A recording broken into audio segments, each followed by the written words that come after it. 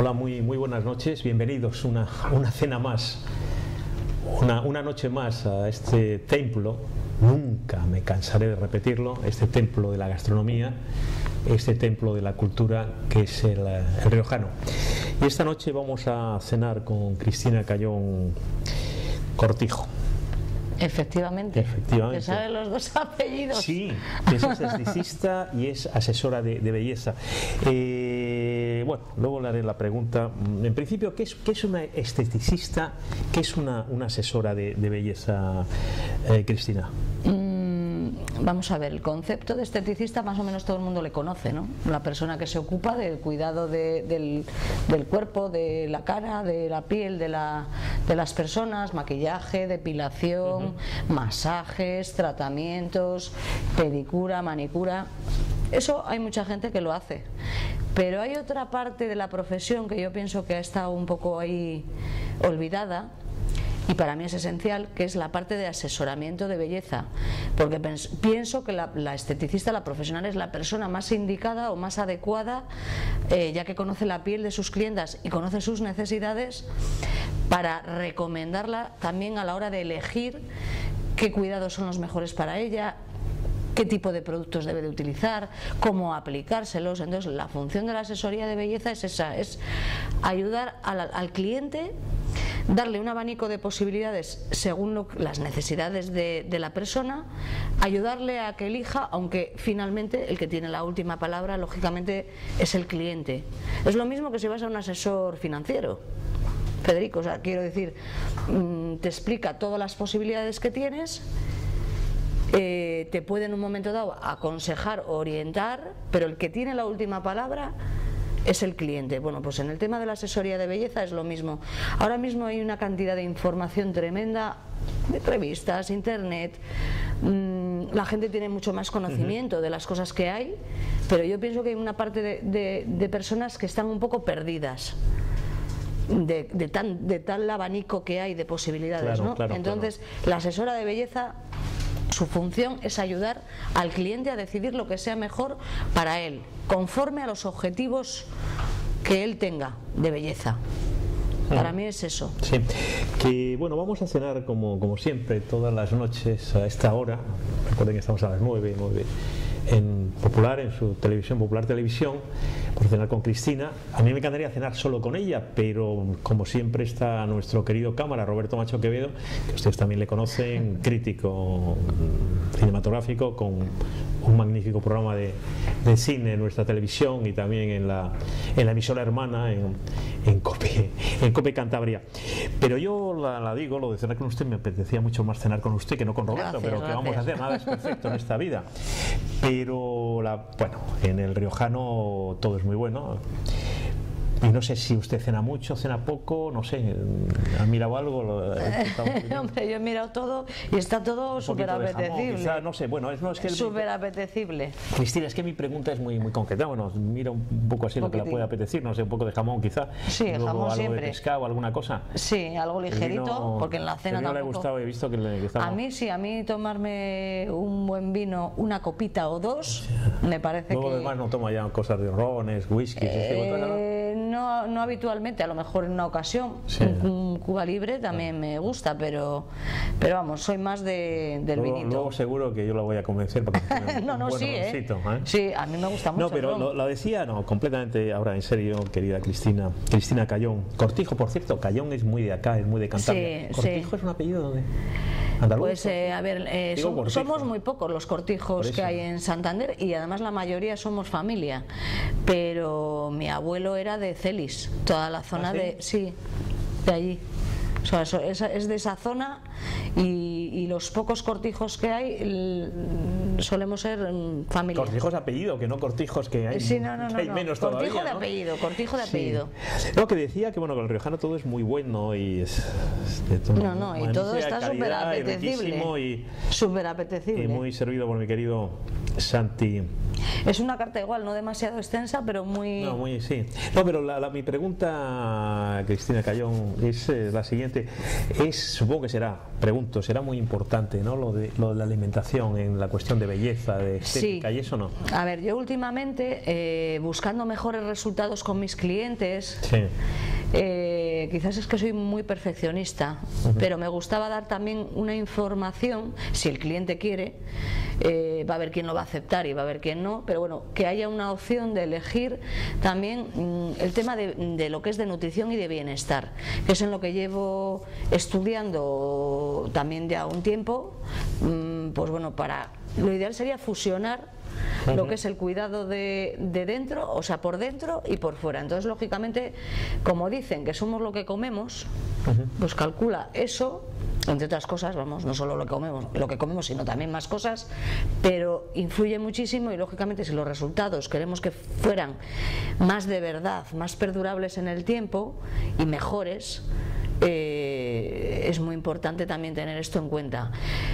A lo mejor algunas clientas se pueden despistar un poco porque mi trayectoria antes era más solamente por lo que era la estética por fuera pero pienso que ahora mismo es necesario fusionar también el cuidado de también de eso, de la nutrición y de lo que comemos, es principal.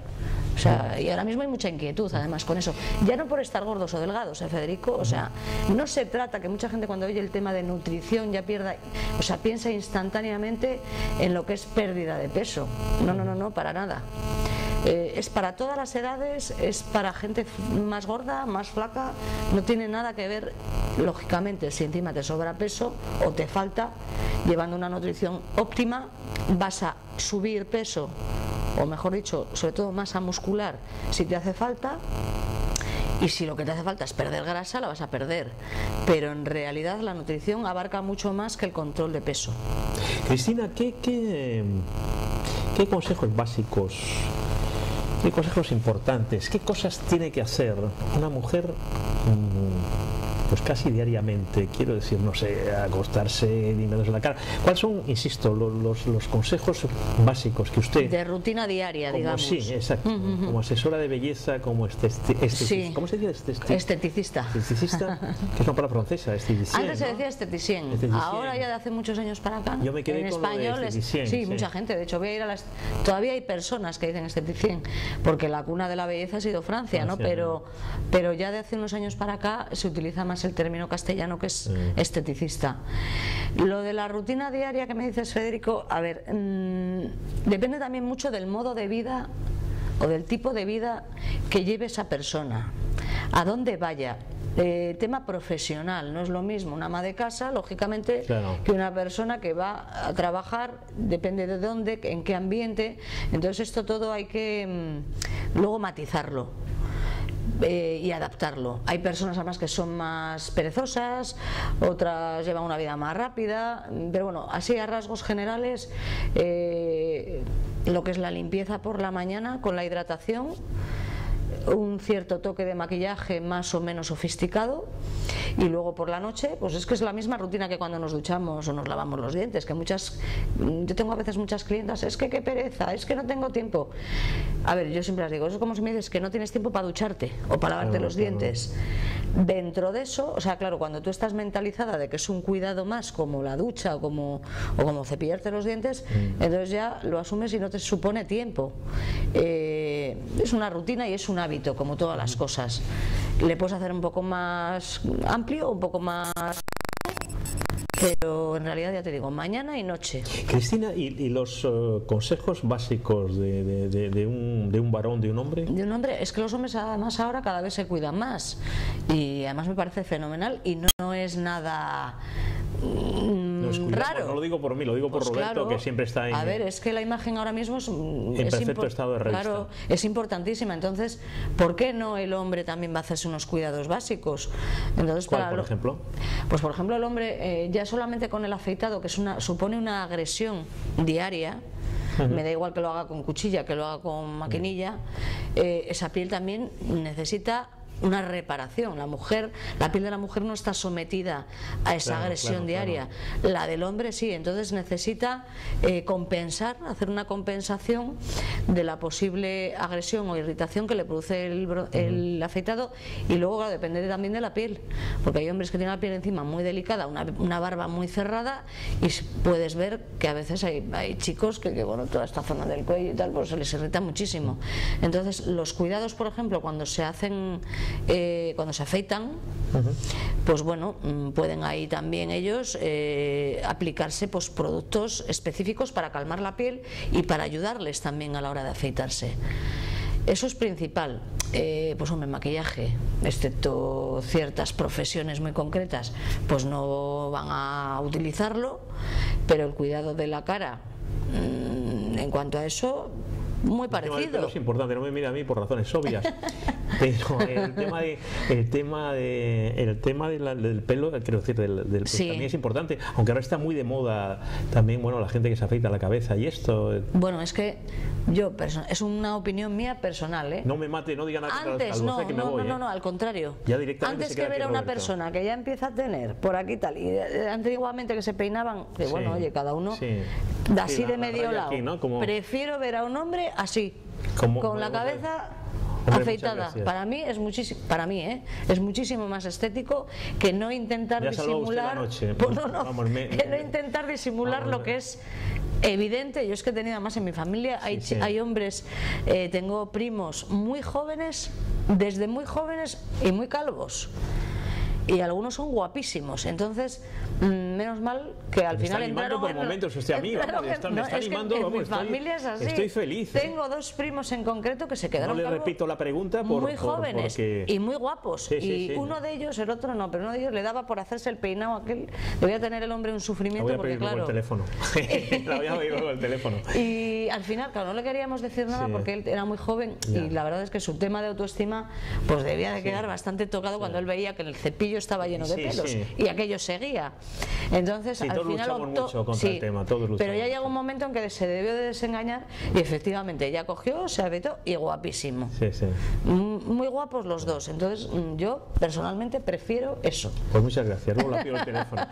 Eh, Cristina, que y después del verano, bueno, de todavía estamos casi en el pero después del largo y cálido verano santanderino que decía aquel, que diría Manuel Arce, eh, ¿hay algún tratamiento, hay algún algo específico para, para la mujer y para el hombre? Sí, a ver.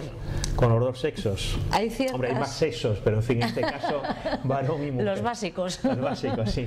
Eh, hombre, cada época del año marca, por la climatología y por el tipo de vida que se lleva, marca unos cuidados y unos principios activos en los productos que se utilizan que son, digamos, más adecuados.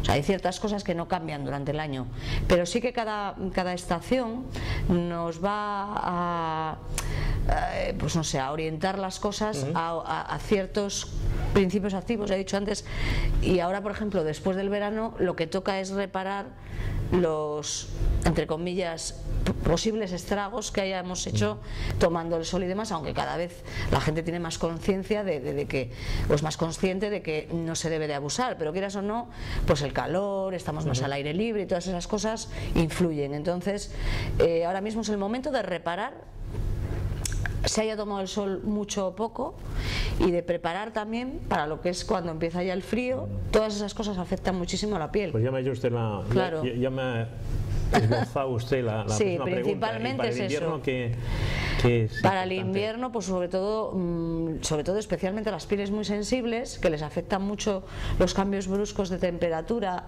Eh, entramos en un sitio, está la calefacción o el aire acondicionado a tope, salimos a la calle y hace mucho frío.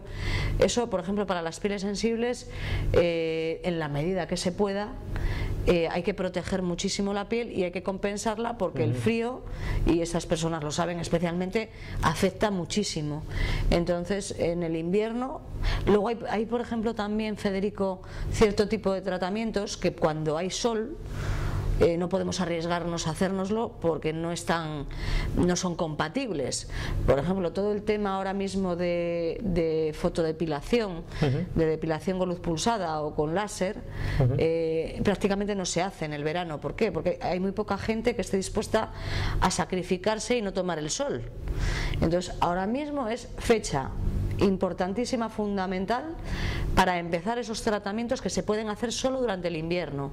Aparte de lo que es la fotodepilación, está el fotorejuvenecimiento, que también se utiliza eh, lo que es la luz pulsada, no para eliminar el vello, aunque una parte también cae, porque indirectamente también nos va a influir sobre ello, pero utilizamos el mismo tipo de aparatología, nos deja la piel, entre comillas, un poquito indefensa, y entonces eso mm, va a hacer que sea la época mejor del año el invierno porque tenemos que estar preocupados de que si es que salgo a la calle me tengo que poner la pantalla mm, solar para que no me dé el sol y entonces bueno es muy arriesgado hacerlo en el, en el verano y muy pesado. Eso y algunos tratamientos en los que se utilizan ácidos más o menos fuertes, ácido glicólico, en fin, ciertos ácido málico, mm, todas esas cosas también, esos ácidos eh, nos dejan la piel de momento más desprotegida, con lo cual estaríamos mucho más propensos a quemarnos y a que nos salieran manchas o reacciones, en fin, por, por, sensibilidad que si las hacemos en el verano. Cristina, mm, pero usted es muy joven, ¿cómo sabe tanto? ¿Cuánto tiempo lleva metida en este mundo? Yo no soy tan joven, Federico, que es que no aparento los que tengo, no, pero no, no, soy tan joven. no le voy no soy tan joven, lo que pasa es que yo empecé muy joven. Yo, a mí ya me gustaba el tema de la belleza antes de estudiarlo. Eh, cogía las revistas de mi madre y estas clásicas que tenían las señoras de Telva y tal, siempre la sección de belleza. Pero yo el curso lo hice por hobby, o sea, me gustaba para simplemente aprender los cuidados de, cara a, los míos personales, ¿no? Entonces yo hice el curso de estética como hobby, estando en el instituto eh, pues acabé con 19 años de hacerle. Entonces, Pocos más tiene, o sea que tampoco. Sí, sí.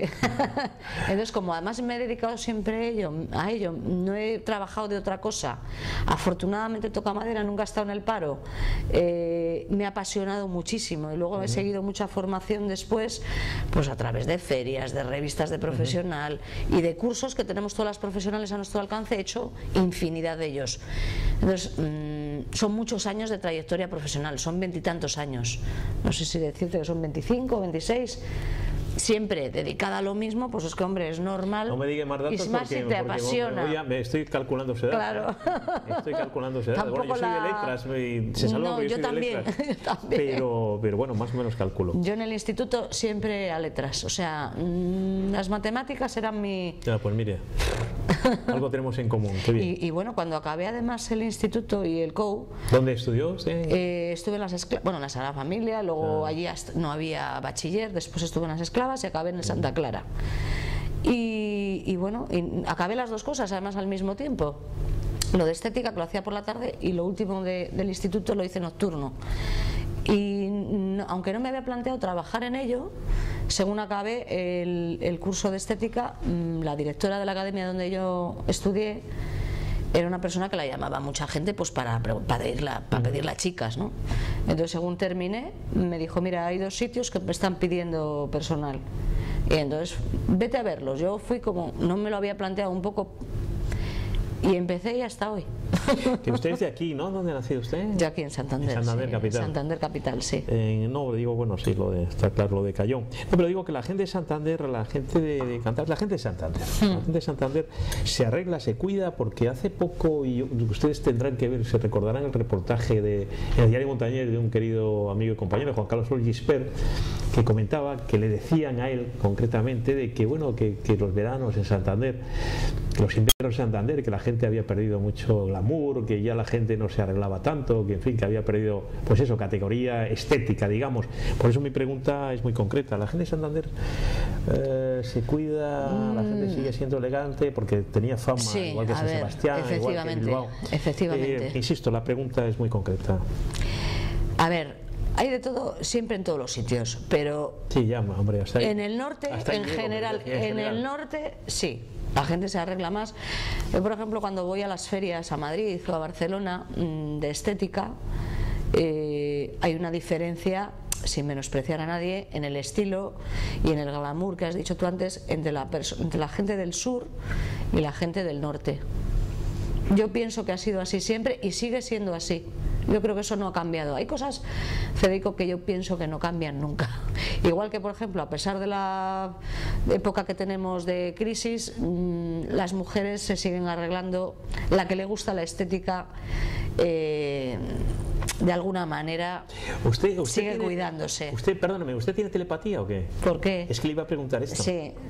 Es que le iba a preguntar. Es que no tengo, no, de momento no tengo. Es que le iba a preguntar, le iba a preguntar, mire, ¿se puede dedicar a eso de echar las cartas? No, lo digo en serio, ¿eh? ah, en, una, emisora católica, obviamente no. Pero quiero decirle que, que, es que se le iba a hacer esa pregunta en estos momentos mm. de crisis, en estos momentos tan complicados, en estos momentos tan difíciles, eso del túnel que sale no se sale, pero bueno, en fin, los tiempos muy complicados y no solo en España, en, el resto del mundo, al menos de Europa. La gente le sigue preocupando el, eh, quiero decir, una, una, asesora de belleza o un esteticien o estetici Esteticista. Esteticien. Sí, yo me quedé un poco. Bueno, no pasa nada. Esclavas, Yo me quedé un poco de Brigitte Bardot cuando veníamos por aquí en los en los dorados 70, no, decía que en estos tiempos eh, la gente sigue recurriendo a ustedes a pesar de, de los pesares. Eh, en general sí, hombre, puede haber personas que tengan una circunstancia mm. muy, muy, muy...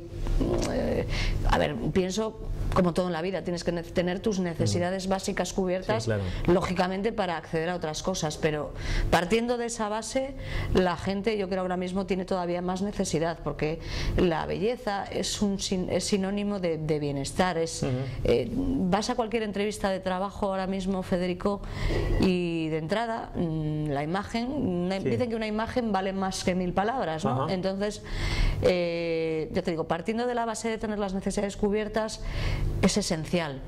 Mm, a lo mejor lo que sí mira más la persona es pues como en todas las cosas, ahora mismo el dinero vale más. Entonces tú quieres dar tu dinero y, que te den más y, quizás la persona es hasta más exigente, porque todos somos conscientes, ya te digo, de que no es lo mismo 100 euros de ahora que 100 euros de hace unos años. Entonces me parece normal que la persona más sea más exigente y por su dinero pida más. Pero es muy importante. Eh, tenemos que terminar como todos los miércoles, como todos los miércoles, eh, bueno, como todos los días se está llenando prácticamente ya Roberto nos ha buscado a Cristina para él y para mí, insisto que yo hubiera preferido cenar solamente con Cristina, pero bueno, Roberto Macho Quevedo no se le puede sacar de la mesa así como así. Lo intentaré, pero en fin, si usted es una broma, por supuesto. No, la decía que se tiene ya para terminar, sí. tiene algunos proyectos concretos eh, Cristina Cayón Cortijo. Eh, a Cristina Cayón Cortijo la toca ahora iniciar otra vez, después de mi andadura profesional en, en Muriedas, un pueblo del cual tengo muy buen recuerdo, pues bueno, han sido muchos años allí, han sido veintitantos años allí, pero voy a iniciar eh, en Santander. Voy a volver un poquito a mi etapa de, de, cuando estaba soltera. Yo he vivido siempre hasta esa fecha aquí. Cuando he estado en Maliaño, en ¿Estás soltera? Ahora sí que la pido el teléfono. Ahora sí, ahora estoy soltera. Ahora la pido el teléfono, claramente. Entonces, bueno, he decidido pues darle un giro, cambiar un poco de ambientes y, y sí, voy a iniciar, voy a iniciar en Santander. Y a lo mejor voy a iniciar también con la experiencia y con la sabiduría que tengo, pero mm, adaptándome mm, a la situación concreta que tenemos ahora. Vamos a ver cómo, cómo lo hago. Porque yo pienso que ahora mismo eh, todos debemos de adaptarnos un poquitín a, las circunstancias que estamos viviendo. Y por eso pues no vamos a ser ni mejores ni, ni peores, sino que, que, es lo que realmente hace falta ahora. Pues eh, terminamos, queridos telespectadores. Recuerden, estamos todos los, luego se repite, pero estamos siempre aquí en, en directo todos los miércoles a las 9 publicidad más, publicidad menos, en el Riojano, en este templo maravilloso, en este templo de, de siempre, de la cultura y de, y de, y de, la gastronomía, la magnífica gastronomía que vamos como, como siempre a degustar en este miércoles, un miércoles más, otra vez como siempre lleno, aquí afortunadamente crisis no tienen y, siempre es muy agradable estar por, por el entorno, por, por el ambiente y, y, por cenar con, con Cristina Cayón Cortijo. Cristina, muchísimas gracias. gracias a ti, es un encanto.